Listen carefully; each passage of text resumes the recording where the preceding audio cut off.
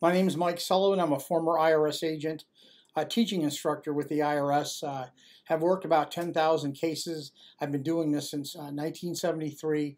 I'm a national expert in IRS tax resolution. Uh, welcome to my YouTube channel. Um, I've got a bunch of uh, members now, subscriptions, so um, I'm glad I'm giving you the information that you need.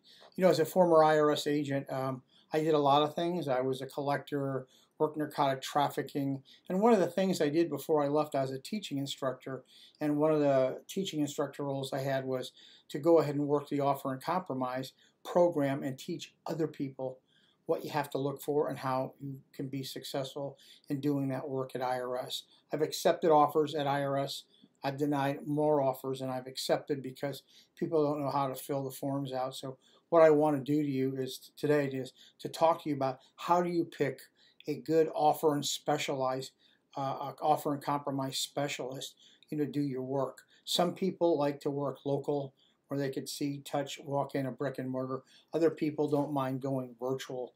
You know, our firm specializes in the offer and compromise. Uh, for instance, for us, I don't even take an offer and compromise uh, unless I know for sure I can get your offer approved.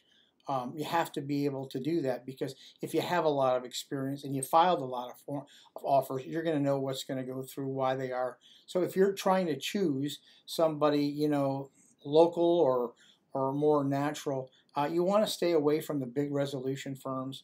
The big resolution firms have people come and go, and I'm not trying to be self-patronized here myself, but at the end of the day, I just want this to make sense to you. Um, find a former IRS agent, but listen, listen, listen. You don't look for someone who is in the audit division. You look for someone who is in the the collection division. You have to find out how many offers they worked. You've got to understand if they show you their finan if you show them their financial statement, they're going to let you know ahead of time what your problems are, what you need to fix, what you need to correct, and when the best time to submit the offer. You want to always submit the offer when you're doing the worst. If you had a couple big sales, you want to settle your case, it just you just dropped your chances just tremendously because you have to give IRS, listen to me, you must give Internal Revenue Service the total liquidity you have in your assets. If You have $100,000 worth of assets, your home is discounted 20%. IRS wants 100,000, they're not going to settle for any less. So some of the questions that you need to ask is how long you've been doing this? After that, how many situations like mine have you got through? What is the average settlement? Can you tell me what the offer formula is? How long is it going to take? By the way, if they tell you it's less than a year, it's over, it's a year. So you want to ask these experience and drill down on them.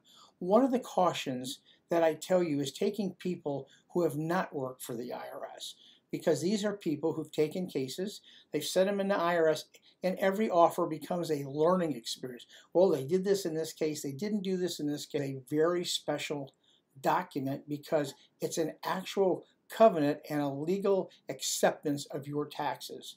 By the way, all offers and compromise are get on public record for 18 months after. And by the way, there's a pre-qualifier tool. You can go to the IRS and ask for the pre-qualifier tool for offer, and you can kind of walk through the basic formula.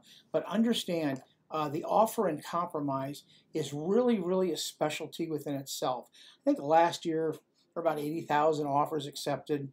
I think IRS accepted 18 for an average settlement of 16. That average settlement of 16 has nothing to do with the case. It's all about your case. There's two things IRS is very uh, are going to drill down on. What is your liquidity value and what is your income versus your expenses?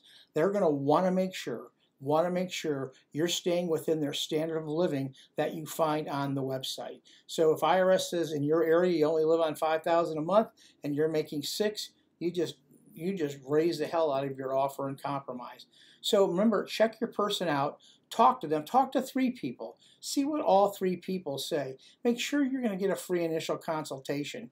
When you call these big firms, they want a 500 or $1,000 you know, if any offer specialist worth their salt can look at your financial statement and tell you within literally within 10 seconds whether your offer and compromise is going to go through. So be wise, choose, speak to a couple people. We're always here for you. Thank you very much for listening to the videos. If you would, there's a subscribe button. I don't know what But if you could subscribe to us, it helps us. It kind of pushes us up the ranking. Somehow YouTube thinks the more subscriptions, more people listen.